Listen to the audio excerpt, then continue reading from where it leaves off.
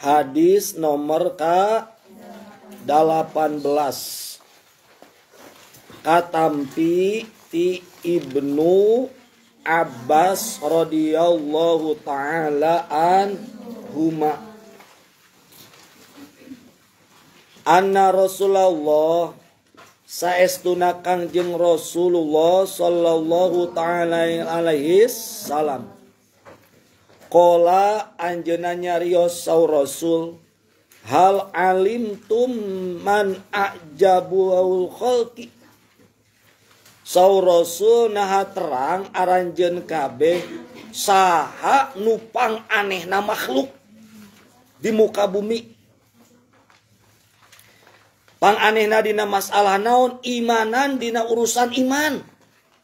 Saha nupang anehna makhluk di alam dunia nupang anehna dina urusan iman.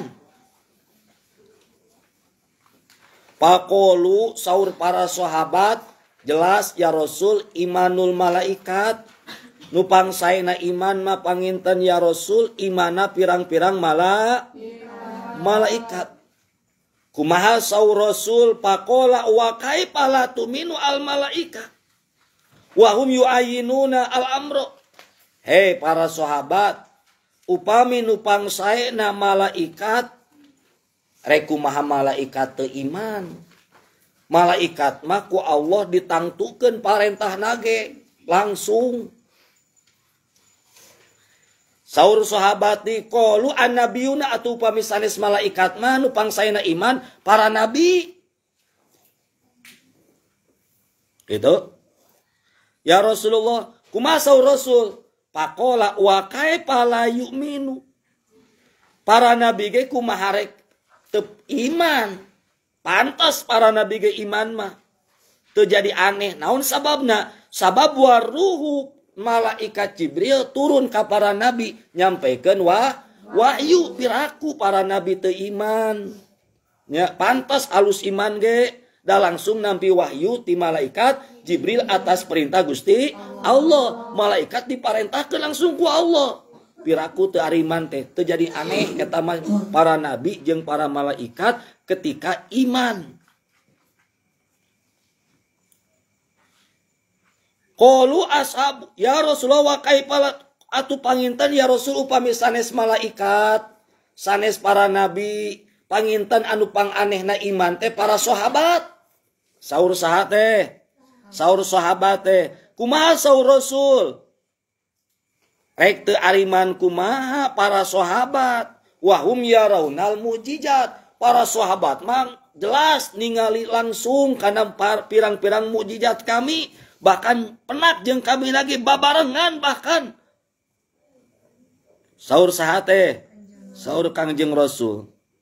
Eh para sahabat bilih hoyong terang mah aranjen nupang aneh na jalmi anu iman sanes golongan malaikat sanes golongan para nabi sanes golongan para sahabat etama pantas iman ge aya alasan-alasan tertentu. Malaikat langsung jeng Allah. Para nabi nampi langsung parentati Allah melalui malaikat, malak Jibril. Tuluy para sahabat pantas iman ge penak jeng Rasul tiap hari jeng Rasul bahkan ninggal nyaksi karena mujizatna saha? Rasul. Nupang anehna iman mah kaumun yajiuna mimba di ke bakal ayah kaum sabada kami. Nyata nu dimaksud kaum sabada kami teh saur Rasul nyata umat akhir zaman umat akhir zaman sepertoskeun urang teningal kakang jeng nabi walam yarauni tapi wayu sadikuni teningal ka rasul tekantos penak jeng rasul bahkan ngimpen gitu acan jeng ro jeng rasul. Tapi alhamdulillah umat akhir zaman termasuk orang mudah-mudahan sok sanaos teningal rasul tenyaksi karena mujizatna rasul tekantos penak jeng rasul tapi alhamdulillah orang sadayana iman kasaha karosu Rasulullah bahkan saur Rasul paulaika ikhwani. Tah jalmi anu karitu teh eta teh lain ngan saukur jalmi anu aneh tapi dianggap ku kami mah dulur kami. Tuh dianggap dulu ku Rasul ge barokahna cacak-cacak ning urang tep kantos penak jeng baginda saha Rasul tapi alhamdulillah urang sadayana diangken wargi ku Rasul bahkan orang sadayana iman ka Rasul mengikuti ajaran Rasul bahkan tertanam di hati orang bahwa orang teh cinta ka baginda Nabi besar Muhammad sallallahu alaihi wasallam sareng ngalaksanakeun sunnah-sunnah nak baginda Rasul Ayadi hikayat anna yauman minal ayami istama'at al-kupar pi dari Abi Jahlin jadi dina hiji poe orang-orang kafir kumpul di imah Abu Jahal. Di imah gegeden pangintennya. Kumpul di imah Abu Jahal. Iddakola rujulun ketika ke karumpul datang we ayeuna lalaki jojo asub nunamina saha torikus soidlani. Wakol Saur Torik ma ashalu alaina kotla Muhammad. Langsung tiba-tiba gitu. Kumaha carana hayang bisa yang apal? Gampang lah cara ngabunuh sama Muhammad. Sabab orang-orang kafir dengan cara tiap hari kumaha carana ngabunuh kangjeng kangjeng Nabi. Lamun orang sepakat cenanya karena ucapan. Itunya orang gampang ngabunuh Muhammad ketika engke kangjeng Nabi Muhammad sallallahu alaihi wasallam di naon? Dina dinding Ka'bah tuluy berangkat seorang gitunya. Tuluy tenggorkan batu anu ge gede di luhur naon? Ka'bah. Maka hari takne insya Allah maka insya Allah punya maka hari takne Muhammad bakal lahalaka bakal ngantunkan bakal maut. Pakoma mimbainihim rojulun yuklo siap tah cek siap. Abdillah. lamun ngawidian kuring rek ngabunuh saha Muhammad. Di idinaan kurang kapitu sok atuh anjen ari siap mah bunuh Muhammad. Naik eta saha teh Syihab bari mawa naon? Mawa batu naik ka Ka'bah mawa batu. Erek na naon? Ngagejluk atau napi naon? Nenggor maledog rasul ku batu tiluhur naon? Ka'bah kayak dina posisi rasul nuju nyarande di mana? di dinding di dinding Ka'bah. Paroma ila nabi pahoroja minci dari Ka'bah hajaron. Tuluy eta naon teh batu terek digejelukan ku saha teh ku syihab. Ketika arek digejelukan ternyata tina ding ding ding ding tidak ding ding naon. ding ding Ka'bah keluar batu kabayang teu contoh kieu ya. Misalnya ieu Ka'bahnya syihab naik ka mana? Luhurun ka Ka'bah. tulu teh tinggus mawa batu. Rek burakeun naon? Batu rasul keur nyarande dina naon? Dina dingding dina dingding kabah tiba-tiba keluar tina dingding kabah teh batu. Tek. Nah aya batu. Wahoda dalikal hajar. Bahkan nahan eta batu teh. Pil hawa ditahan ku eta dinding. Naon ku eta batu teh? Jadi terjadi udah katahan teh ku batu anu keluar tina dinding naon?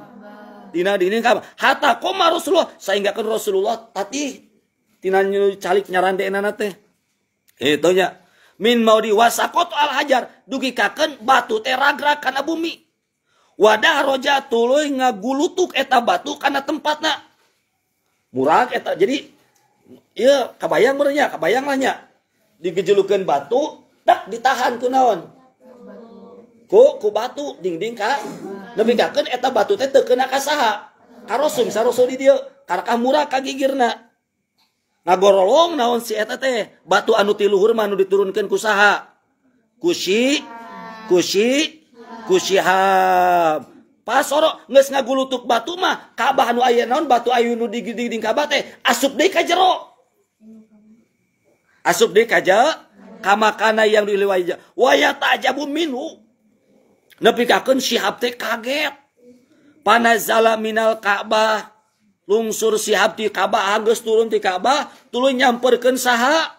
Baginda ro Rasul.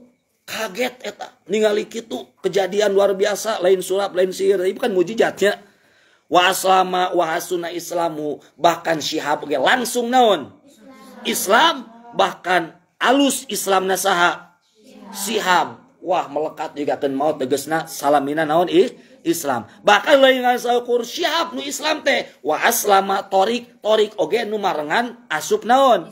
Islam. Wa kana syihab wa man mau aslam. Bahkan anu milu jeung syihab nu milu torik arasup naon? Islam. Sabab ningali karena hadal mukjizat ningali eta mukjizat nu sakitu luar biasa na gitunya wal iman bi Muhammad ta eta mah pantes. Torik syihab. Jeung sahade balad-baladna ariman kasaha ka Rasulullah secara syariat pantas iman ge da langsung nyaksi karena mu mujizat. Sedangkan pi akhir zaman min abdolil marotib. Sedangkan ari urang teu kantos ningal mujizatna Rasul. Jeung Rasulna teu kantos ningal tapi orang alhamdulillah diberi iman. Ku melalui Al-Qur'an dugi kaken dibaca kurang yakin eta Al-Qur'an teh mujizat terbesar nu dipasikeun ku Allah karo karosul mim abdul li andaum sabatu alal iman wal islam ala dohril gaib cacak teningali karosul tenyaksi karosul urang ku Allah dikersakan jadi jalma anu iman. Cacak urang teningali karena mukjizat na rasul pangintan upami di bundang banding mah pantas wae zaman baheula mah ariman oge da ririungan jeung saha? Jeung rasul ngahiji jeung rasul ningali mukjizat rasul. Ari urang? Teningali mujizat na rasul tepenak jeung rasul tapi orang i iman. Ngan anu diyakinkan kurang masih si lain tetap ayah kene hari mujizat na rasul mah. Sebab mujizat terbesar itu adalah al Quran nah Al Quran orang mah berpegang teguh. Jadi ketika orang mulka Al Quran teh ayeuna mah masya Allah ieu teh mujizat rasul. Yang anu sainggakeun orang bisa naon? Iman. Orang bisa Islam. Ku barokah mujizat rasulnya eta Al Quran anu paling hebat. Ya mujizat rasul anu hebat. Eta Al-Qur'an. Aya teh ngaut ngamertelakeun kautamaan kaunggulan kaafdolan kaistimewaan umat akhir zaman nyaeta umat kangjeng Nabi besar Muhammad Sallallahu Alaihi Wasallam. Maka mudah-mudahan orang cing jadi umat Rasul. Cing diakui umat Rasul. Ari umat akhir zaman namanya Alhamdulillah orang tidak akhir zaman ayeuna teh. Ngan pertarosan anak orang geus diakui atau encan. Mata suhunkan ke Allah supaya orang diakui umat baginda saha. Kangjeng Rasul supaya orang diakui saha jalmi anu iman di akhir zaman bahkan keluarga ikhwani dulur nasaha. Rasulullah Shallallahu Alaihi Wasallam. Tete kanikmatan anu ageng nya ke orang sok sanajan orang tepan pantos pernah jeung Rasul tapi tetap ngado ama kudu tiap hari orang nyuhunkan minimal dina ngimpen hayang ditepangkan hayang ningal wajah nu indah wajah nu sampurna nu luar biasa nyata wajah na baginda Rasulullah SAW itu ayah di makhluk nu paling kasep nu paling ganteng nu bersinar bercahaya itu adalah Rasul. Nabi Yusuf masa tengah nak nya tulis tengah na dibagi dua dibagikan kasarariana sapotongna ke Nabi Yusuf. Tapi Rasul masa tengahku nyalira dalam arti lebih kasep rasul daripada Nabi Yusuf. Nabi Yusuf alaihissalam. Cacak ningali Nabi Yusuf. Oke okay, kan kaum nuju nyiksikan buah cek sapale kau cek sapale kau nyiksikan bawang pokoknya nuju saksik lah. Nulikakeun kakeureut naona. Pananganna bakatku indah ningali kasepna saha Nabi Yusuf. Komo Kangjeng Ro Kangjeng Rasul. Ningali kasep indah luar biasa. Maka dia surga bakal babari mengenali Rasul mah itu bakal babari di akhirat mengenali saha Rasul. Nggak saya tinggal di sana pangkasepna. Di antara jelema orang ngariung tinggal di sana pangkasepna. Wah itu bayar tentang Rasul. Ya mau anu ngelehkan karena kasepna saha? Rasulullah Shallallahu Alaihi Wasallam. Istri nu panggelisna sahangke di surga? Siti Asia sebab jantan istri Rasul di surga.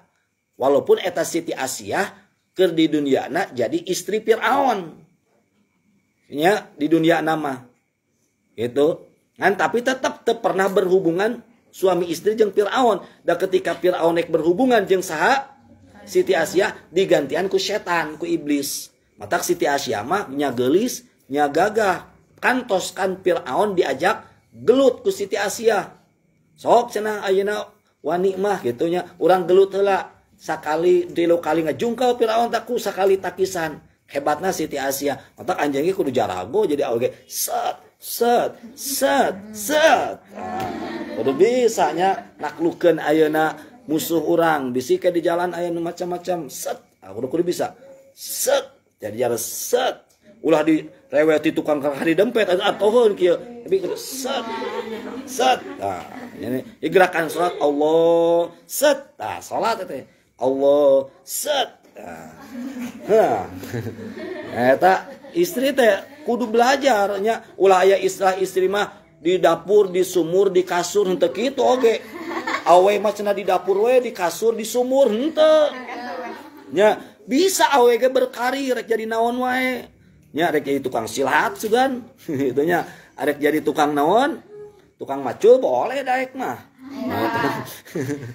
jadi kudu aya karir jadi naon jadi profesor insinyur dokter eh, jadi naon deh? Guru. Wah jadi naon we? Oh istri lo bantu sukses istrinya. Ya bercontoh kak Siti Hajar. Siti Hajar itu istri yang kuat kan lompat sopa marwah lompatan nahan lapar nahan haus. Itu istri yang kuat wanita yang hebat gitunya jadi kudu gagah istri ge lalaki jika gagah fisik nah padahal hati nama lembut lalaki tehnya rapuh hati nama Hello Kitty walaupun wajahnya security gitu. jadi luar biasa mata tetap aranjen kudu semangat walaupun tidak punya penyemangat. Nah. Punyanya. Tetaplah kalian berjuang walaupun tidak punya ayang. Pilihlah ilmu. Karena kalau kalian tidak punya ilmu kalian tidak jadi apa-apa. Kalau kalian tidak punya si dia kalian gak apa-apa. Gitu. Eh, tuluy ngaji. Ngajinya ibadah tuluy hartos ente ah tosanya mudah-mudahan manfaat. Wallahu a'lam